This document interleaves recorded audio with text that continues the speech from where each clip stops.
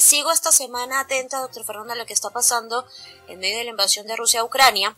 Pues les quiero contar que ayer el ministro de Defensa de Rusia, Sergei Shoigu, dio la orden de retirada de sus tropas de toda la parte de la región de Gerson situada al norte del río Dnieper, es decir, los territorios que están en la orilla derecha incluyendo precisamente a la ciudad de Gerson, que también lleva el mismo nombre de esta región.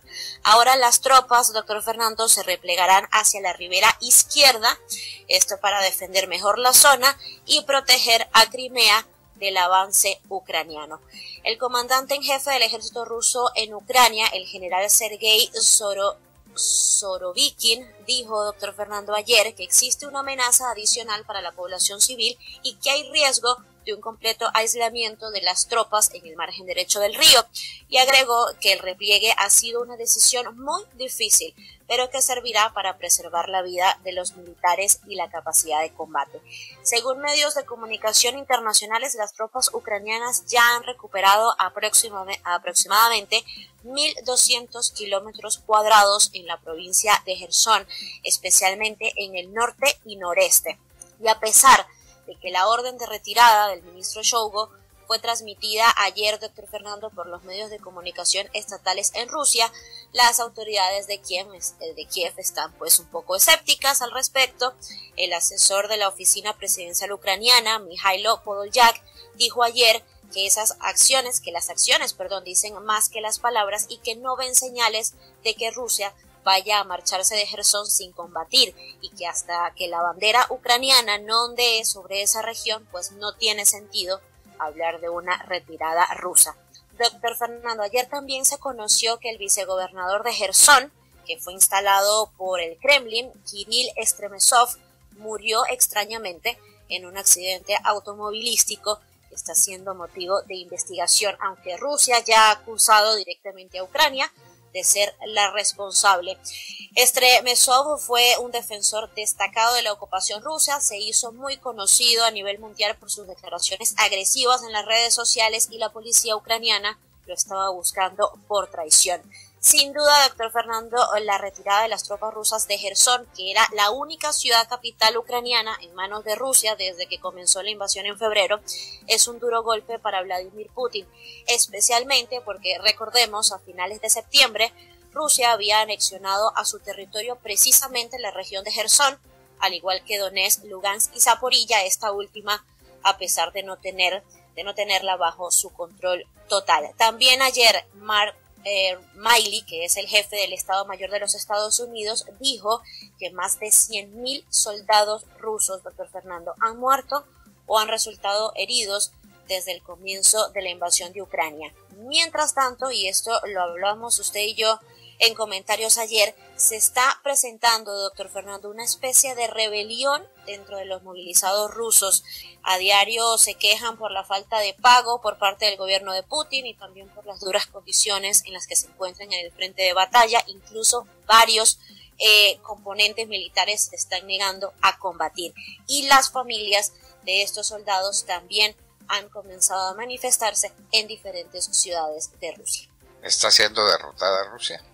Son de todas maneras es muy importante y la orden de Putin es categórica. Hay que dejar Gerson. Es una resistencia inútil ante el avance de las tropas ucranianas. Miren ustedes pues lo que está pasando en la guerra, en la guerra no, en la invasión cruel de Rusia a Ucrania. El huracán Nicole tocó tierra en la costa este de Florida, justamente al sur de Vero Beach. Decían aproximadamente calculan de 225 kilómetros al norte de Miami con vientos sostenidos de 120 kilómetros por hora y atraviesa la, la, península en dirección noroeste. El Centro Nacional de Huracanes con sede en Miami informó que Nicole atravesó la isla Gran Bahama, donde se encuentra el centro turístico Freeport, y ganó fuerza suficiente para alcanzar la categoría 1. Justo antes de irrumpir en territorio floridano, los vientos de huracán destruyeron buena parte del muelle de madera Angles Fishing Pier, situada en la playa de Fort Lauderdale, a 38 millas del norte de Miami. Entre tanto, doctor Londoño, fuertes lluvias caen sobre Orlando y Kissimmee en estos momentos, así comenzará Sarasota y Cape Coral, que fue por donde entró el huracán Ian hace mes y medio. mientras precipitación parece alejarse de la zona sur de la península floridana, donde cerca de dos pulgadas de lluvia fueron reportadas el miércoles en la noche. Acorde con el reporte de, meteorología, doctor Londoño, Nicole rápidamente perdió la intensidad de huracán y ahora transita rumbo noroeste para acercarse a la zona de Kissimmee, al sur de Orlando, con vientos de 65 millas por hora, unos 104 kilómetros por hora. Probablemente Nicole salga al mar en el Golfo de México momentáneamente para volver a tocar tierra muy cerca de Cherokee al norte de Tampa y continuar su trayectoria rumbo norte-noroeste como depresión tropical con vientos de 40 millas por hora, unos 64 kilómetros por hora. Hasta el momento, doctor Londoño se reporta que casi 110 mil clientes de la FPL, la empresa de energía de aquí del estado de la Florida, se quedaron sin electricidad esta madrugada, mientras Nicole cruza la parte central del estado. Más de 109.800 clientes se vieron afectados por cortes a partir de las 5 de la mañana del día de hoy, según Power Routage, de acuerdo con la FPL también. En el condado de Brevard, en la costa este de Florida, más, de el, más del 16% de los clientes se han quedado sin electricidad. Justo a sur de Brevard, en el condado de Indian River, más del 9% de los clientes están oscuras.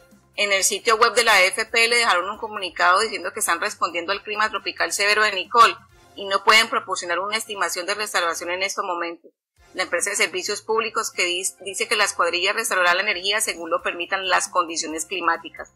La temporada ciclónica del 2022 acumula hasta el momento 14 tormentas tropicales y 8 huracanes de los cuales 2 fueron calificados categoría 3 o más. La temporada de huracanes concluye este 30 de noviembre, aunque no es inusual que tormentas menores surjan en los siguientes días. Por otra parte, doctor Londoño, eh, para continuar sobre las elecciones en este país, de medio término, la pelea continúa en los estados de Arizona, Nevada y Georgia para definir el Senado. De acuerdo con el conteo de votos, hasta el momento el Senado va en 48 escaños para los republicanos y 46 de los demócratas. El empate en Georgia entre el demócrata eh, Rafael Warnock y el republicano Herschel Walker mostró que ninguno de los dos candidatos alcanzó el 50% de los votos. El Estado declaró que habrá una segunda vuelta el próximo 6 de diciembre para definir esta importante curul. La carrera por la gobernación de Arizona entre la republicana Carrie Lake y la demócrata Katie Hobbs también muestra un empate entre esas dos candidatas donde ya varios medios se han quejado y hasta han hablado de un supuesto fraude en el condado de Maricopa y la ineficiencia en el conteo de votos donde muchos ya manifiestan que ya se debería tener un resultado. Por el momento, las autoridades reportan que todavía faltan 400.000 balotas por contabilizar. Sobre las gobernaciones en todo el país, hasta el momento van en 24 para los republicanos y 22 para los demócratas, sumando 46 de 50 gobernaciones en todos los en el estado.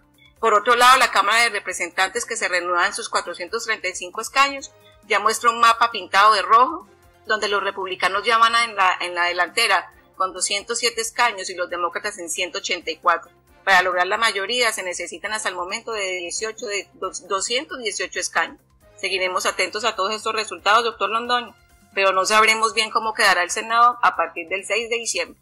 No lo sabemos, de manera pues que tenemos huracán y tenemos unas elecciones cuyo resultado es todavía incierto. La Cámara y el Senado en vilo parece que van adelante los republicanos aunque no se ha conseguido lo que llamaban la marea roja, ¿no? O, algo parecido. Sí, señor. Sí, precisamente eh, Donald Trump hablaba sobre eso, decía que se sentía bastante decepcionado, porque no fue arrasadora la, los votos, no fue, la ola roja no arrasó como, como se, se había pronosticado. ¿Tendría algo que ver la presencia de Donald Trump en el resultado, en cualquier sentido que sea? Pues hasta el momento no, doctor Londoño, todo el mundo se está enfocando, las noticias están muy enfocados en, el estado que es Ron DeSantis, donde lo pronostican y ya lo ven como un presidencial y una competencia grande para Donald Trump para el 2024. Señor DeSantis que ganó la, la gobernación por amplio, amplio margen, ¿no? Sí, doctor Londoño, imagínese que para el 2018 él ganó la, eh, la gobernación solo por la delantera de 30 mil votos, que no fue mucho. Y ahorita para los midterms pasó un millón y medio, o sea, pasó por encima del, candidato demócrata Charlie Price. En 20 puntos le ganó. Un millón y medio de votos. Un millón y medio de votos. Muy bien.